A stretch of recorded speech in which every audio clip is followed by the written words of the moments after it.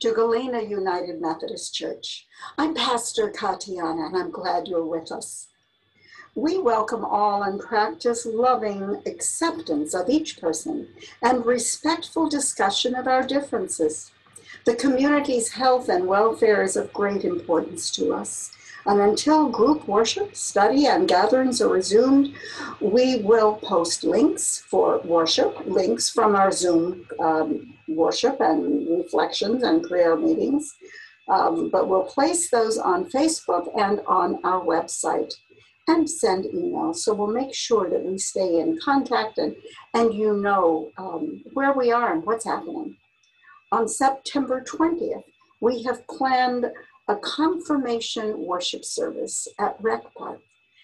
We will certainly use all of the guidelines that we have put together and that we've followed, and uh, everything will be sanitized for you. We're going to ask you to register so that we will, in the pavilion, we will have, uh, make sure that everyone is spaced and we'll set up your, your table. And we'll also bring some extra chairs, or you can bring your uh, yard chairs in case you feel that you would, would be more comfortable um, sitting off the pavilion space, but with us. And I will make sure that we, we are mic'd so you can hear. And it will be a wonderful service. We'll have extra masks. Um, and we will do everything we need to do to make this safe. Now, if you choose to stay at home, we will also be recording this and sharing this in Zoom, so you won't miss it. You can be live with us, you can be with us while this is happening, and you will also um, be, this will also be recorded, so it will be on Facebook and our website. So I look forward to seeing you then, if not before. Let us worship.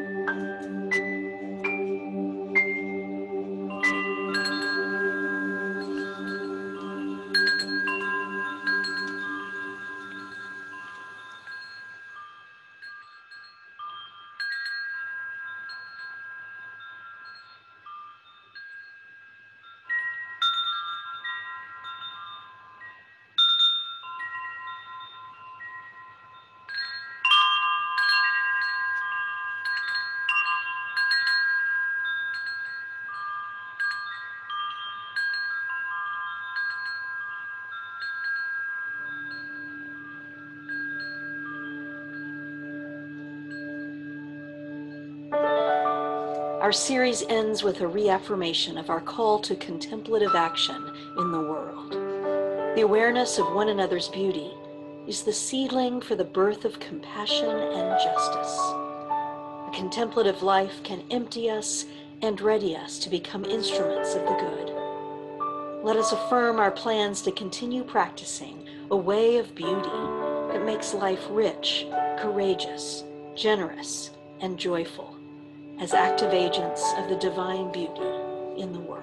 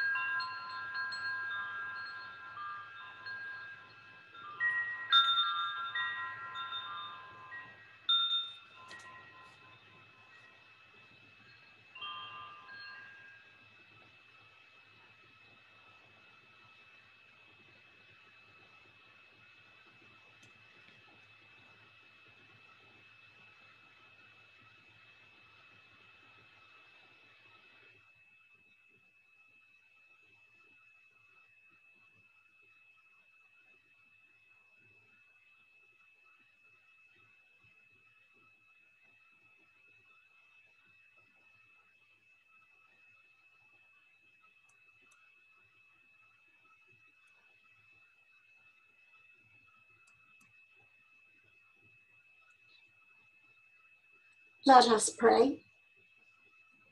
Divine goodness, Holy One, pause us for this moment, bear us up in this time, hold us for eternity. We offer our lives in service to your creation. We dedicate ourselves to increasing beauty in the world. We commit to compassion and action. And all the people say, Amen.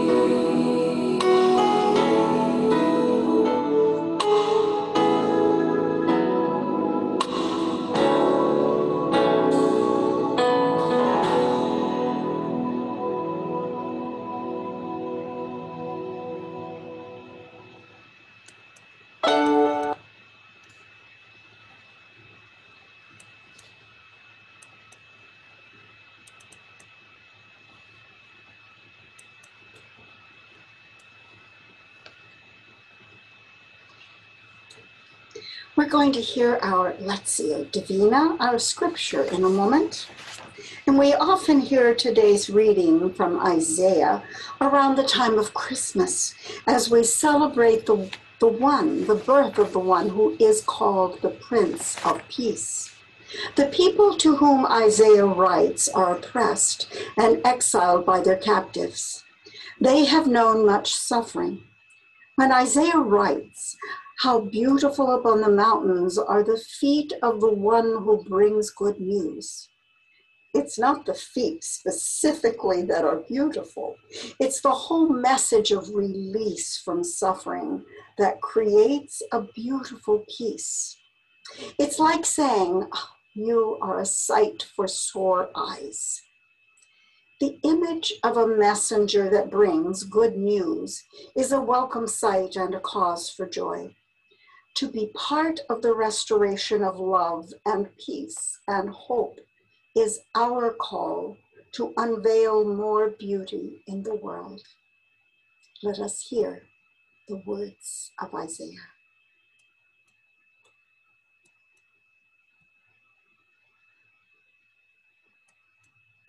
How beautiful upon the mountains are the feet of the one who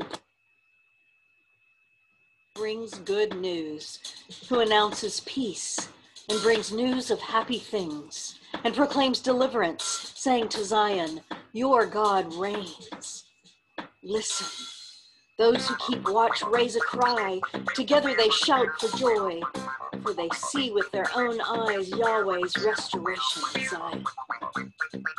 Break out together in song, O ruins of Jerusalem, for Yahweh comforts the people and redeems Jerusalem.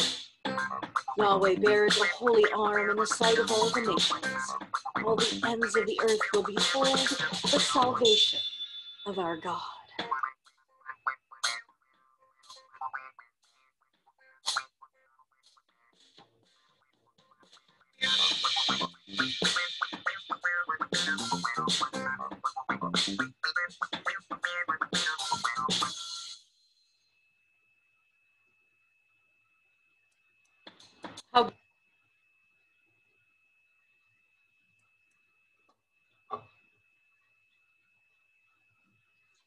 Hope you've enjoyed these last six weeks and our search for beauty.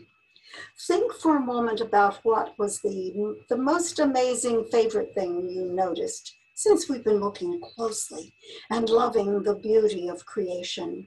Now, maybe it was one of the animals you saw on explore.com the eagle, the hippo. I loved the hippo, the baby hippo running around biting.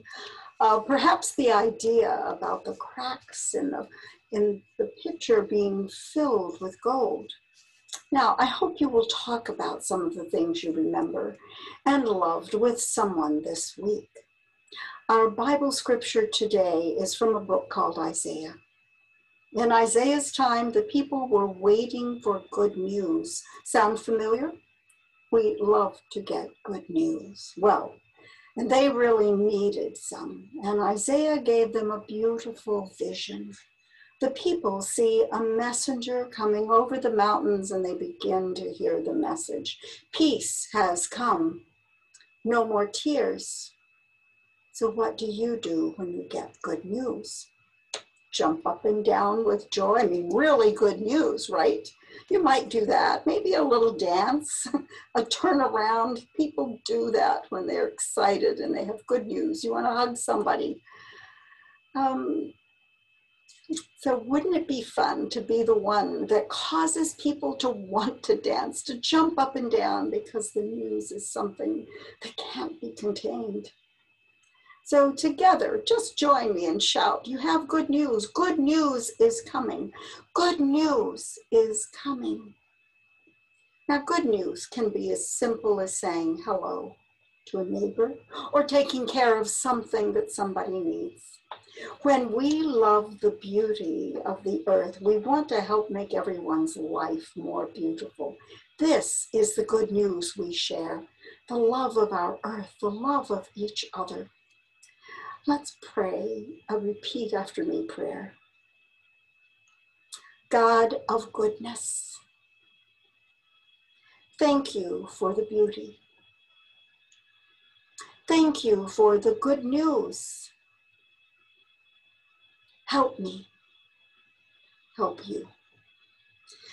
Bring beauty to someone else and be a messenger of good news for the beauty of the earth. Amen.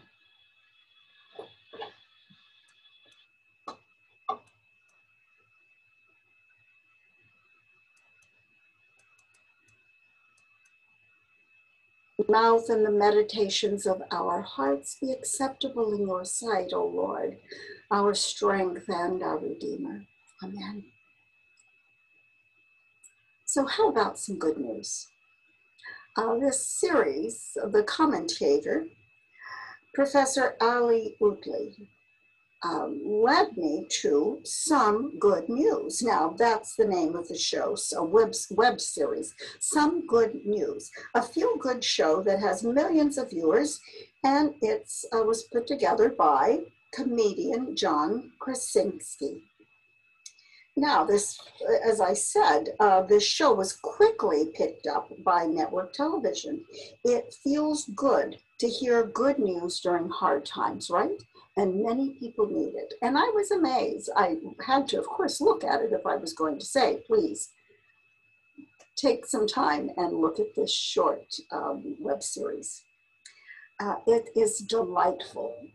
And I think it's just what we need sometime sometimes good news, although sometimes good news can be hard to receive.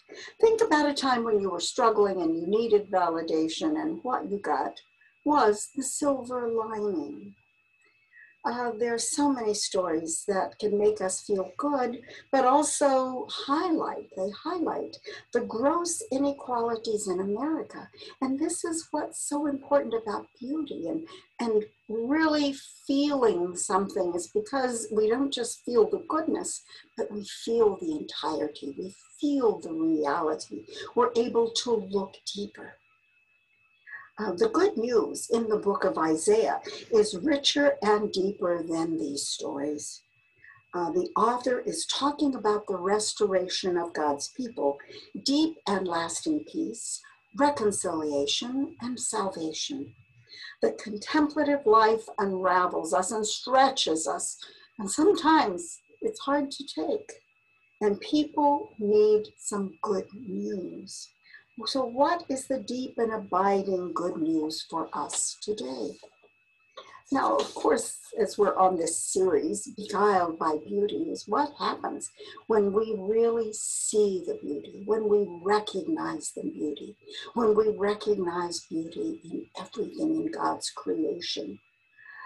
And in fact, beauty tricks us, it pulls us into the inherent goodness of humanity it initiates a freedom that replaces this desire that we often have to control, and it opens us up to joy.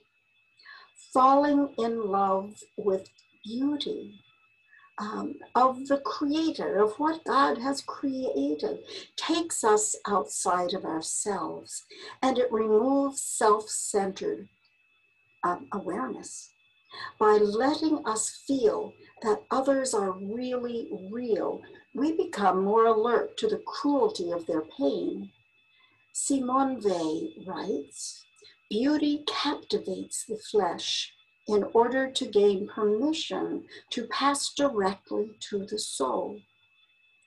And it's this mysterious inner self um, that God helps us become familiar with and open up to uh, that houses compassion lament, and justice. A contemplative way of life imprints what we think and do, but it's more primarily how we are inclined toward reality. Dr. Farley has argued that we are made for the beloved. St. Augustine, I've mentioned a couple of times that our hearts are restless until they find their place in God until they recognize God in their midst. And we are created with a capacity to recognize the profound beauty in all creation.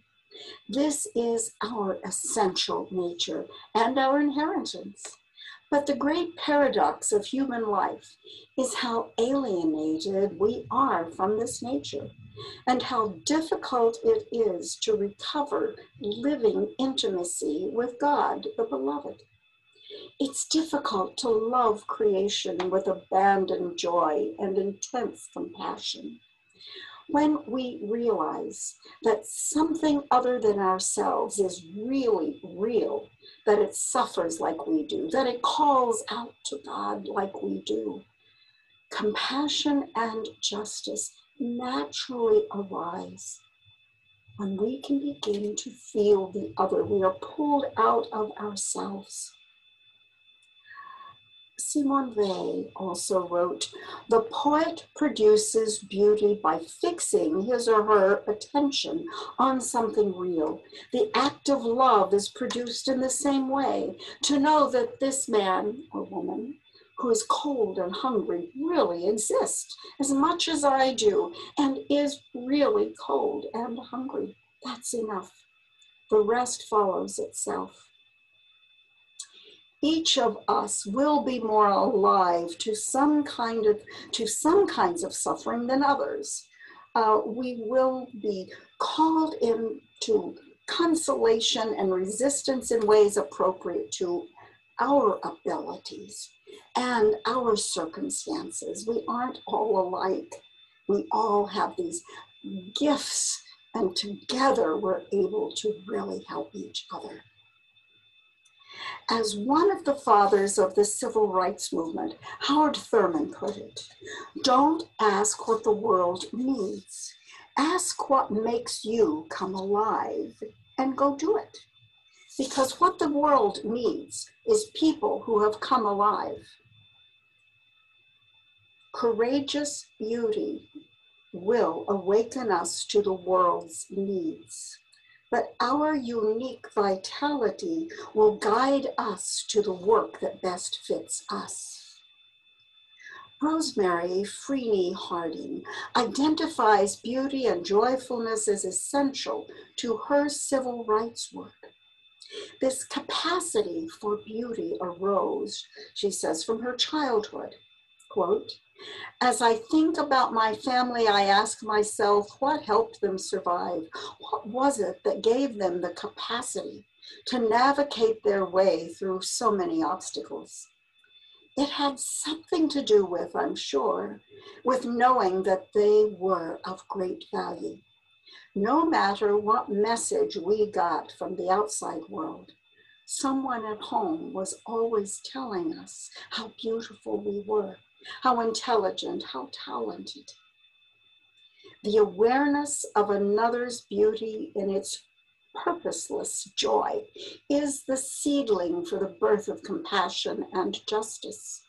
The celebration of this of the beauty of beings, of God's creation, and their communities and ecosystems cannot exist without lamenting the assaults on them. Farley writes Death comes to all things, but murder, cruelty, wanton destruction, or greedy exploitation are painful interruptions of the dignity and grandeur of life. Emptying ourselves for beauty, in emptying ourselves, we become instruments of God, instruments of good kenosis, the Greek for self emptying. Paul uses that in writing his letter to the Philippians. And in chapter two, he encourages his readers to imitate Christ's compassion and mercy, putting on the same mind that was Christ, who emptied himself of the form of God to become a servant of all. Modern Christianity often emphasizes that one is a Christian by believing certain things. But for 2,000 years, Christians have also affirmed that it is possible not only to believe, but to live the path of transformation. This path is a kenosis that empties us to our obstacles to love it recognizes the beauty and cherishes the well being of others, all others, as one's deepest desire. A contemplative way of life is one that deepens these capacities, even as it embraces with gentleness and patience all the experiences of life that seem alien to these desires. Because of our delight in others, we join the lovers of the gospel by embracing their commitment to relieve suffering and seek justice for all. May we do so. Thanks be to God.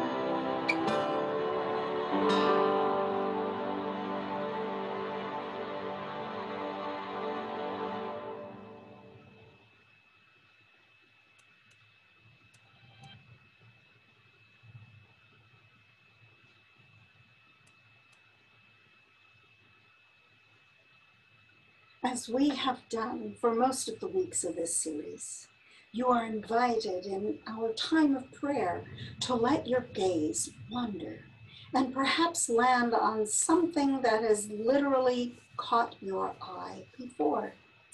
I hope that beyond this series, you will find yourself continuing those contemplative practices that caught your attention, that brought you to a deeper love of life. And always remember that looking around, whether we do that with our eyes or other senses, is how we notice the beauty in the world and in the people we encounter, but also how we notice the suffering and are called to intercede in prayer for the healing of all.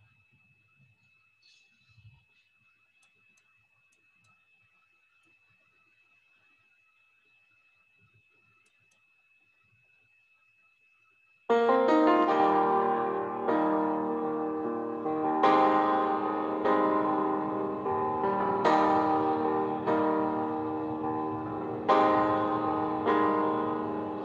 you're tired and feel you can't get through, uncertainty comes over you. Just look around.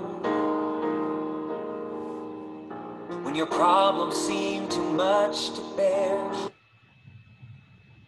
unsure if there's someone who cares, just look around. Whether stranger, neighbor, family, or friend, on each other in tough times we can depend.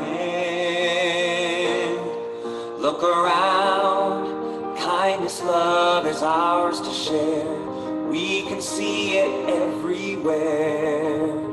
Though it might seem like forever, look around, even in the darkest night, things are gonna be alright. We'll get through this together. Just look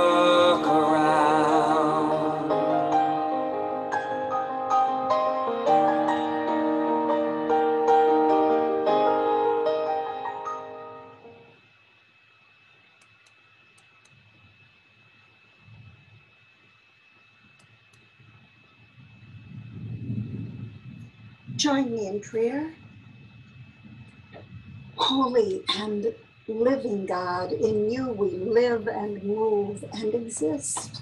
In you we find our shelter and strength. In you our hearts are being filled with joy each morning, and in you we sing praises with a new song. In you we trust that your promises, your good news is on the way. You are the source of every hope. You take our anxieties as we cast them on you. We pray for those with uncertainty in their future. We pray for those who have lost their job or fear losing them and are finding ways to meet their financial needs. We pray for those who have lost their loved ones and for those who are ill for those who are surprised by COVID as they have done the right thing and stayed in when they needed to, and um, and yet it's hard to continue isolation at times. And we pray that we will respect and care for each other enough to make good decisions with our travel. We pray for those who are fighting against addiction and are unable to meet with the recovery groups. We pray for those who fear as hate crimes and incidences arise. Oh God, we lift our prayers, our joys and concerns that we share each week, and, and those that we hold in our hearts uh, of our congregation and our family and friends that we continue to pray for weekly. And we pray for the world and its leaders facing difficult decisions every day, May decisions be made with honesty, wisdom, and care for the benefit of all.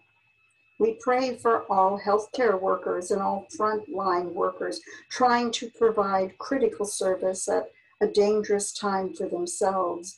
And we pray for those, um, regardless of age, that decide it doesn't matter, recognize that what they do to themselves, um, they're not alone because if they do catch COVID, uh, they will go to these healthcare workers that we're wearing out uh, prayers for loved ones, again, who have died, and prayer for those who are sheltering in. And now we lift prayers for Ahmaud Arbery, Breonna Taylor, George Floyd, and all who have lost their lives because of the sin of racism and police brutality. There's so many more. We pray for Jacob Blake and his young children who witnessed his shooting. Uh, we pray for the the young man with with um, I think bipolar who recently, or I think it was in March, lost his life, and we're just finding out. We need to be sharing these prayers and saying these names. Again, we spoke about things being real, people being real, hurt being real. We need to feel the pain of people, of what's recognizing that they are real and the injustice is real, so that we will feel what's happening and really work to make a difference. I end with a prayer of Bishop Sally Dyck's that early in much of this injustice she prayed. May God's holy breath breathe upon us to be a force of racial justice in the church and in our communities because there are too many people who cannot breathe. Breathe on us, breath of God. Gracious God, help us to discern your ways. Keep our eyes focused and clear so that we can see what it is, O oh God, you are calling us to do. Work in us, we pray. Let it be so. In the name of Christ, we pray. Amen. Lead us now in your prayer, in whatever words or form of the Lord's Prayer or the prayer of Jesus we wish to use. Or join the one that is printed on the screen. My Father who art in heaven, hallowed be thy name. Thy kingdom come, thy will be done on earth as it is in heaven. Give us this day our daily bread and forgive us our trespasses, as we forgive those who trespass against us. And lead us not into temptation, but deliver us from evil. For thine art the kingdom, the power, and the glory forever. Amen.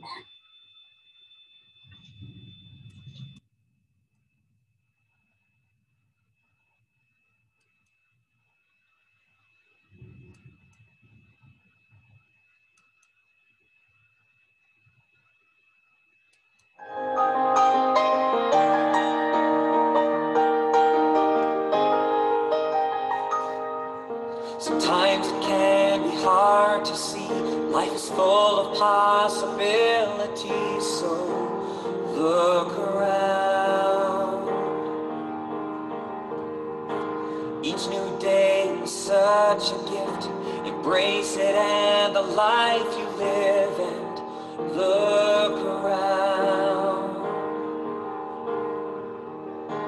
Outstretched arms and many helping hands. Don't give up on all your dreams and all your plans. Look around, kindness, love is ours to share.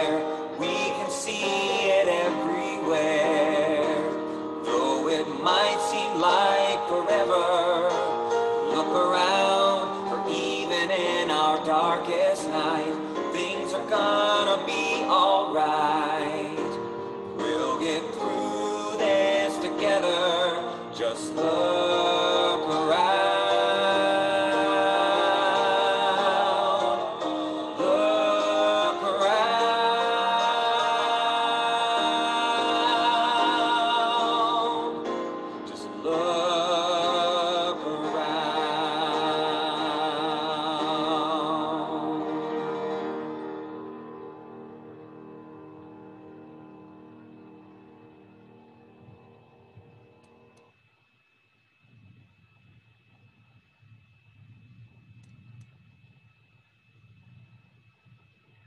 As the song says, we will get through this together with outstretched arms and many helping hands.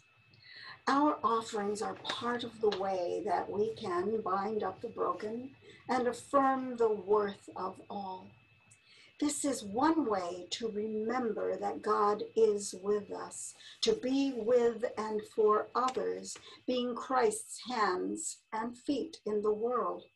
We encourage you to donate by mail or electronic giving through your bank. A donation button has been placed on our Facebook page, and a PayPal giving button has been placed on our website and one on our new website. So as soon as that's activated, we're set. We rely on donations to pay our staff and bills. Change for the better. This uh, July, August, and September is facing forward for the homeless. When we meet face to face, we invite attendees to share their loose change or bills, and now, of course, a check, or add this onto your check, and you might place in the memo how much you're donating to change for the better. Our mission team, your mission team, chooses a different recipient quarterly and uh, alternates local, regional, international. Uh, this quarter's recipient is Facing Forward for Homeless. Facing Forward to End Homelessness offers home, help, and hope for families and individuals, providing permanent housing education, advocacy, and social services. Facing Forward to End Homelessness has been transforming the lives of Chicago's most chronically homeless women and children for 30 years. So please take a moment to consider your gift and then join me in prayer.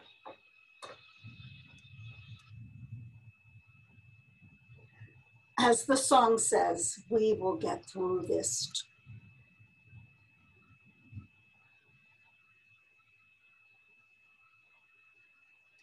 Gracious God, may we recognize all the gifts we've been given.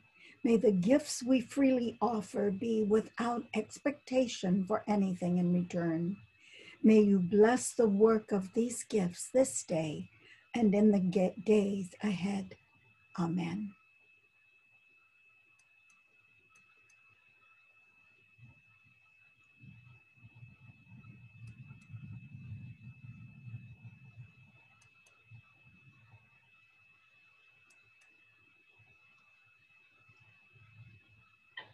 May the peace of the risen Christ be with you. Please greet one another, those with whom you are sheltering with, those with whom you are with. Greet them with the peace and love of Christ. And through the light and love of Christ, send that peace into the world on your prayer. Throughout our time contemplating the theology of beauty, and divine goodness. We have been making a connection between the well being of our souls and the well being of the whole earth and all beings. My prayer is that you will continue to use the contemplative practices experienced in this time to cultivate your life of compassion. Now, the note for this week is a quote from Dr. Farley. A contemplative life can empty us and ready us to become instruments of the good for the beauty of the earth. May it continue so. And now let us add our singing to this song of creation.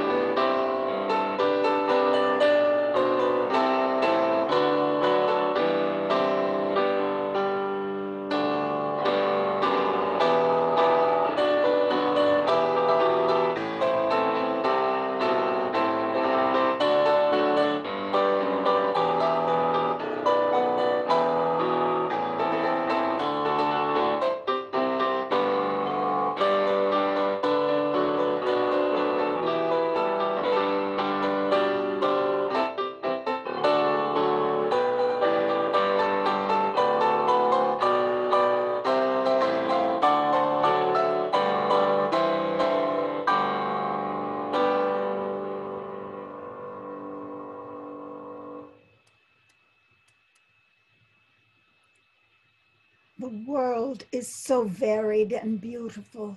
Seek wisdom wherever it is to be found, and may the goodness of the Creator, the companionship of the Christ, and the insight of the Spirit infuse your life now and always.